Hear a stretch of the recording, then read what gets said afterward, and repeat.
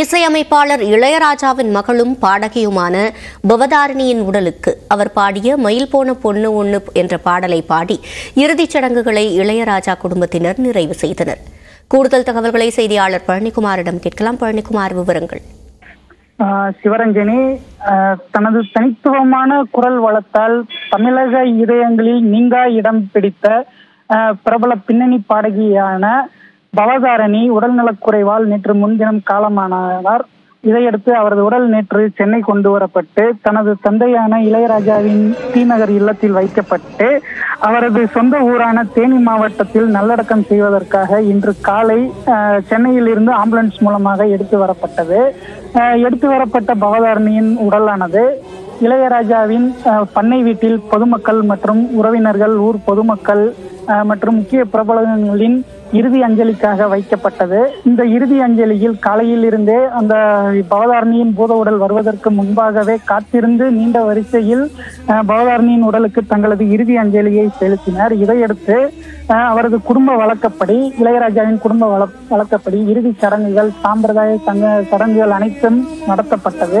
இந்த இறுதி சடங்கு நிகழ்வில் கார்த்திக் ராஜா யுவன் சங்கர் ராஜா வெங்கட் பிரபு பிரேம்ஜி உள்ளிட்ட இளையராஜாவின் குடும்பத்தினர் அனைவரும் கலந்து கொண்டனர். அப்போது அஹ், பவதாரணிக்கு தேசிய விருதை பெற்றுத்தந்த மயில் போல பொண்ணு ஒண்ணு கிளி போல பாட்டு ஒண்ணு என்ற என்ற பாடலை பாடி அஹ், உருக்கத்துடன் இளையராஜா குடும்பத்தினர் அனைவரும் ஒருமித்த க- குரலோடு பாடி அந்த பாடலுடன் அந்த இறுதிச் சடங்கை நிறைவு செய்தது. அந்த தருணமானது இங்கு இருப்பவர்கள் அனைவரது மனதிலும் ஒரு நீங்கா இடம்பெற்றிருப்பது என்றே சொல்ல வேண்டும். இதையடுத்து தர இளையராஜாவின் குடும்ப வழக்கப்படி அவரது ப- தனது மகளான பவதாரணியின் உடலானது தனது தாயார் சின்னத்தாயி மனைவி ஜீவா ஆகியோர்களது நினைவிடங்களுக்கு அருகாமையில் நல்லடக்கம் செய்வதற்காக எடுத்துச் செல்லப்பட்டது. பவதாரணியின் பூத உடலை சகோதரர்களான கார்த்திக் ராஜா யுவன் சங்கர் ராஜா வெங்கட் பிரபு பிரேம்ஜி உள்ளிட்டோர் தங்களது தோள்களில் சுமந்து கண்ணீர் மல்க சுமந்து சென்று முல்லை பெரியாற்றங்கரையில் பாட்டி சின்னத்தாயி அம்மா ஜீவா ஆகியோர்களது நினைவிடங்களுக்கு அருகாமையில் இன்னும் சிறிது நேரத்தில் கீழறங்க உள்ளது சிவரஞ்சன் தாரிணியின் உடலுக்கு அவர் பாடிய மயில் போல பொண்ணு ஒண்ணு என்ற பாடலை பாடி இறுதிச் சடங்குகளை இளையராஜா குடும்பத்தினர் நிறைவு செய்தனர். இது தொடர்பான விவரங்களை வழங்கியமைக்கு நன்றி பழனிக்குமார்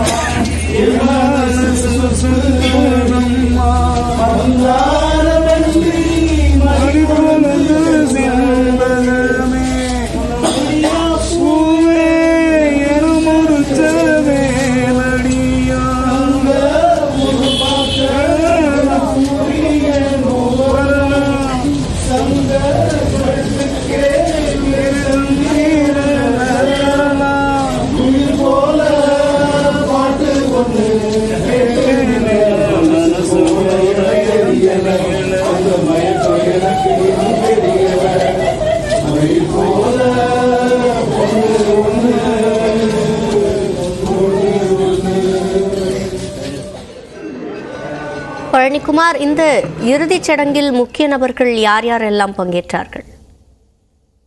முக்கியமாக சிவரஞ்சனி. இந்த பின்னணி பாடகி பவதாரணியின் இறுதிச் சடங்கில் ஆஹ், இசையமைப்பாளர் இளையராஜாவின் நெருங்கிய நண்பரான நீண்டகால திரை வாழ்க்கையை ஆரம்பிப்பதற்கு முன்பாக ஒன்றாக வாய்ப்பு தேடி அலைந்த இயக்குனர் இமயம் பாரதி ராஜா ஆஹ், மற்றும் ஆஹ், கார்த்திக் ராஜா அதாவது இளையராஜாவின் வாரிசுகளான கார்த்திக் ராஜா யுவன் சங்கர் ராஜா மற்றும் கங்கை அமரனின் மகன்களான வெங்கட் பிரபு பிரேம்ஜி உட்பட ஏராளமானோர் கலந்து கொண்டனர். இது தவிர இயக்குனர் அமீர் அஹ், அமீர் மற்றும் அஹ், நடிகர்கள் கிருஷ்ணா உள்ளிட்டோர் கலந்து கொண்டனர்.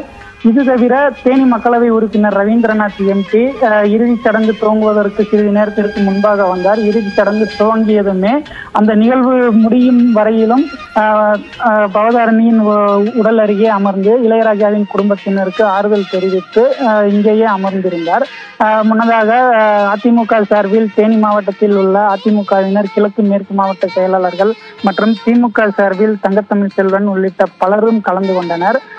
இந்த இறுதிச் சடங்கு நிகழ்வின் போது இளையராஜா மற்றும் அவரது நண்பரான இயக்குனர் பாரதி ராஜா மற்றும் இயக்குனர் அமீர் நடிகர்கள் கிருஷ்ணா மற்றும் யுவன் சங்கர் ராஜா இசையமைப்பாளர் யுவன் சங்கர் ராஜா கார்த்திக் ராஜா மற்றும் இயக்குனர் வெங்கட் பிரபு பிரேம்ஜி உள்ளிட்டோர் கலந்து கொண்டுள்ளனர் சிவரஞ்சன் இசையமைப்பாளர் இளையராஜாவின் மகளும் பாடகியுமான சிவதாரணியின் உடலுக்கு அவர் பாடிய மயில் போல பொண்ணு ஒன்று என்ற பாடலை பாடி இறுதிச் சடங்குகளை இளையராஜா குடும்பத்தினர் நிறைவு செய்தனர். நேற்று முன்தினம் பாடகி பவதாரணி உயிரிழந்த நிலையில் தற்போது அவருக்கு இறுதிச் சடங்குகள் மேற்கொள்ளப்பட்டு உடல் நல்லடக்கம் செய்யப்பட்டிருக்கிறது.